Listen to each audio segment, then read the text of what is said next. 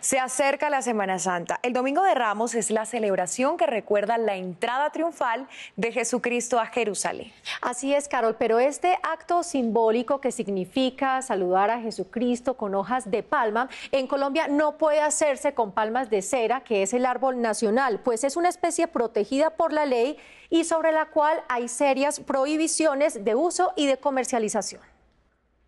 Con ramos al aire, la multitud celebró el ingreso de Jesús a Jerusalén. Es la historia que relatan los cuatro evangelios y que transcurridos más de dos mil años, los cristianos siguen recordando en el Domingo de Ramos.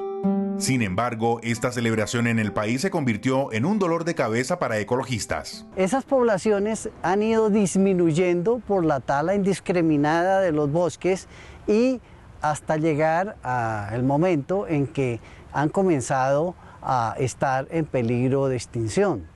En algunos sitios donde la palma está prohibido, no hay ningún inconveniente en que se sustituya por otro tipo de ramas, vamos a decirlo así, o de elementos florales. El uso frecuente de la palma más alta del mundo, la palma de cera, durante la celebración del Domingo de Ramos tiene a esta especie arbórea en peligro de extinción, pese a que la Ley 61 de 1985 la declaró como árbol nacional y prohíbe su tala bajo sanción penal. No cortar esa palma, no comprar ese material que va en contravía de una ley y afecta gravemente a los ecosistemas en nuestro país. Le pedimos a todos los colombianos que por supuesto preservemos nuestras tradiciones, pero que cuidemos fuertemente a nuestro medio ambiente. Una palma de cera produce solo unas cinco hojas al año y si la gente insiste en la recolección de sus hojas para ramos en Semana Santa, se pone en riesgo no solo la existencia de estos árboles, sino la vida de especies animales que viven en ellos, por ejemplo, el loro amarillo, el tucán celeste o el cóndor andino.